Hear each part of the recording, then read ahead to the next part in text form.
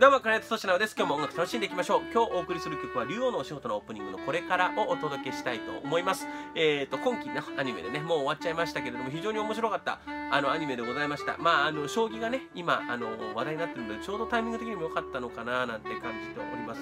まあ、主人公は16歳の竜王ということで、えっ、ー、と、非常に面白かったですね。で、天才の、天才少女がね、あの、弟子に入る。ストーリーですけれども、ちょっと飛躍しすぎたかな、ストーリー。はい。ということで、えっ、ー、と、竜王のお仕事のオープニング、これからお聴きください。